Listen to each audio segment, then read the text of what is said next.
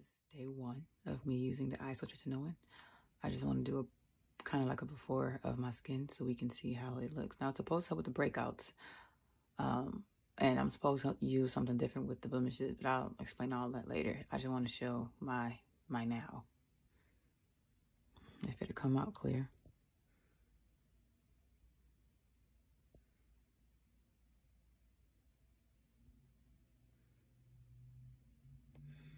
So these are, you know, clearly I have all these marks, which means I've had all these breakouts all across my face. So anyway, I'm supposed to be on it for like six months.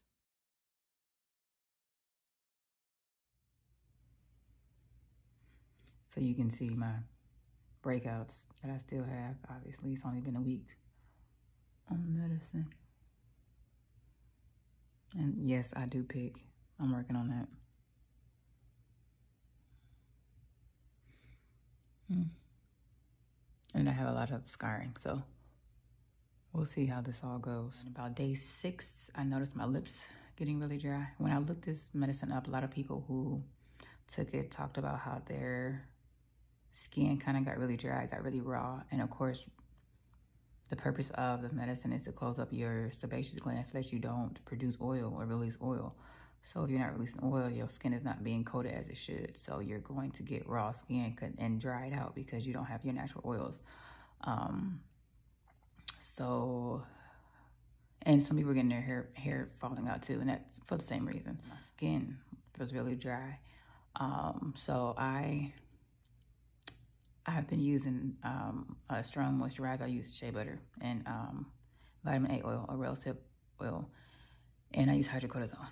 So they're supposed to use a sunblock because you know you're really sensitive to sun over there with this medicine. But it's like I'm moisturizing everything. So my scalp, I'm putting castor oil in it, keeping my hair moisturized. My skin, I'm using like I said, the shea butter and oils, and then for the rest of my body, I'm using olive oil. So olive oil and shea butter. So I'm trying to make sure I stay moisturized. I am still exfoliating. I'm just doing light exfoliation. Um, like I have these exfoliating pads that I use like twice a week. And then I have like my typical um, gentle scrubs um, that I'll do twice a week. And I might reduce that depending how things go, but I gotta get this dead skin off, so. Okay, so this is day 11. I think in my last video I talked about how like my skin and my lips were starting to get really dry and pale.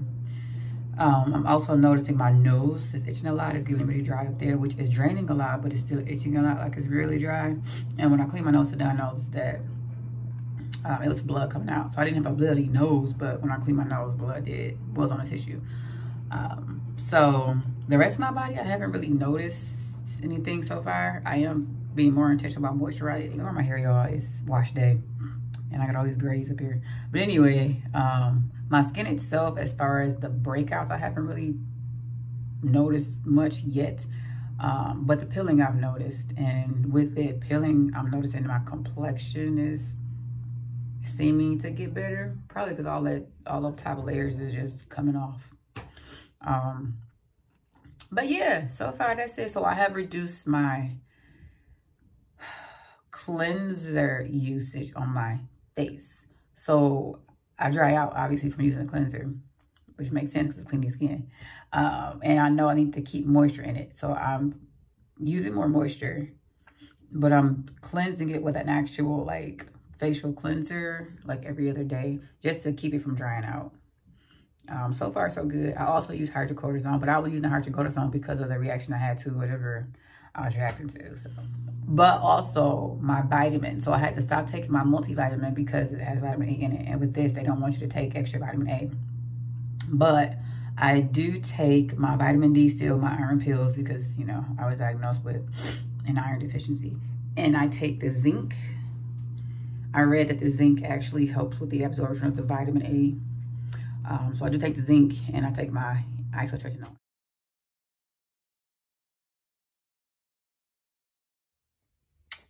Hey, so this is day 23, 22 for me with my skin. So I haven't really noticed any changes yet except for being really dry and pilly.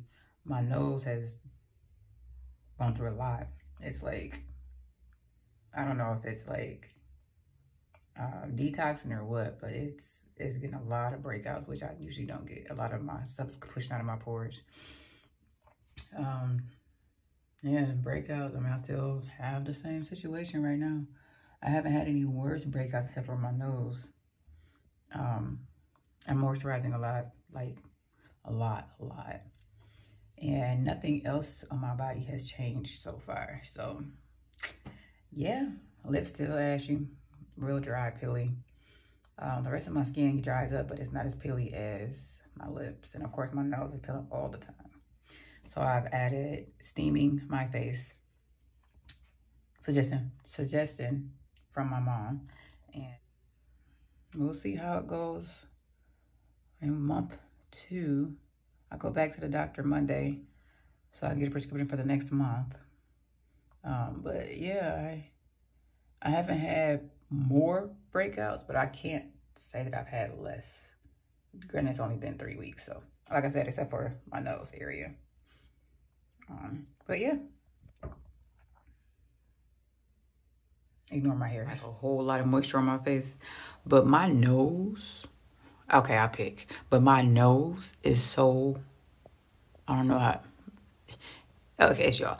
Uh, it's like all of the stuff is coming out of my pores, but it's so hard. And it was hurting so bad at first, I had to pick them. But I don't know what to do. I don't know how else to deal with getting these things out of my pores. It's all whiteheads. I don't know if I need to get them strips, pull it out, or what. I don't know if y'all can even see this. But it's all whiteheads. And it's like all from here, like my whole nose, basically. And like I've been trying to pick them out. but obviously I'm, you know, whatever. But so if y'all know something that works to get rid of whiteheads out of the nose, and I mean I need to pull them all out, let me know.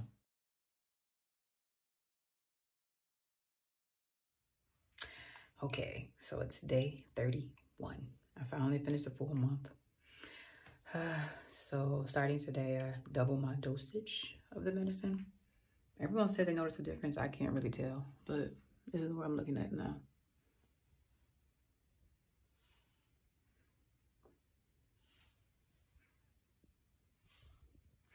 So I don't know if that really shows as far as breakouts how I'm looking, but like I said, my nose broke out a lot, but and I am using something for my blemishes. So if it looks clearer that way, I am using something, but as far as the breakouts, like I said, I haven't noticed a difference, but other people said they have. So we'll see. Starting month two, we'll see how things change with month two.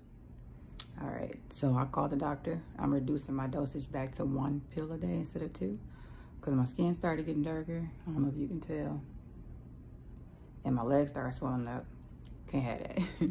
So, and it's only been six days. Like today is day six on the increased dosage. So starting tomorrow, day seven, I'm going back to the one, uh, one pill, which is 40 milligrams. Um, I'm going back to 40 milligrams instead of 80. And I guess we're just going to figure, figure this thing out.